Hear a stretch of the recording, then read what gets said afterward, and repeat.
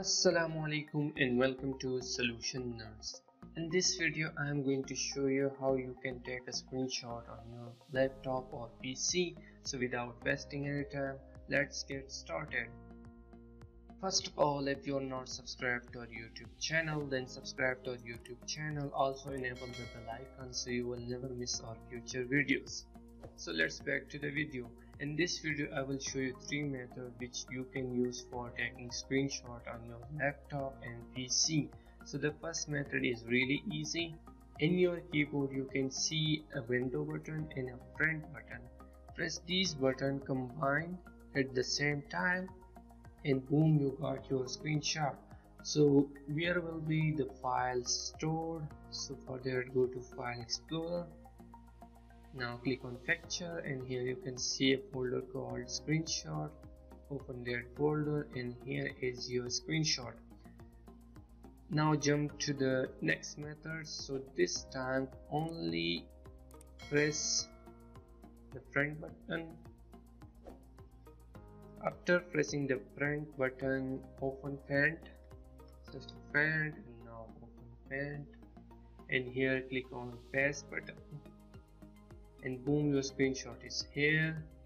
Click on files click on save as and select your image type. Click on png and here give a name of this file. I will give it to test. And boom your screenshot is here. Now jump into the third method. Now this was the easiest methods to take a screenshot of a whole screen.